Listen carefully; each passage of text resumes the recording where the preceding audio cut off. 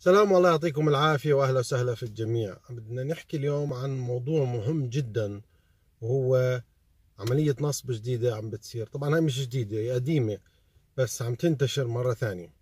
بيجيك message بالمختصر بيجيك message على الموبايل أو على الإيميل وبقول لك إنه وصلك تحويلة من شخص معين. آه، هاي التحويلة مقدار مثلا 100 دولار.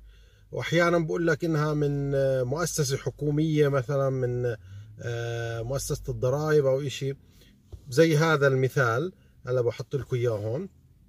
وبعدين آه، بعطيك زي link أنت بدك تروح على هذا ال link طبعا إحنا في كندا الكل بيعرف في عندنا شغلة اسمها Interac transfer money اللي هو عن طريق البنك شركة Interac بس تعمل أنت click على هذا ال link راح يورجيك صفحة أكنها صفحة ال Interac نفسها اللي هي أسماء البنوك وبتكبس على اسم بنكك.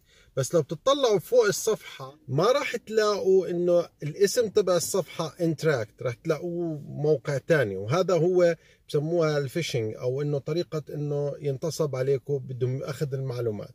فبالمختصر شو بتسوي؟ أنت بتعمل click على آه، البنك تبعك. بورجيك صفحة زي صفحة البنك تبعك.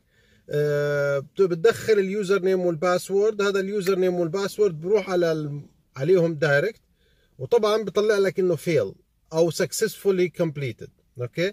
لما أنت تدخل على هاي الصفحة عم تعطي معلوماتك بالمختصر لهم وهم بيقدروا بهذا الوقت يدخلوا على آه، البنك تبعك ويأخذوا كل شيء بدهم إياه آه، الفلوس المعلومات whatever okay؟ غيروا ال password حتى تبعك.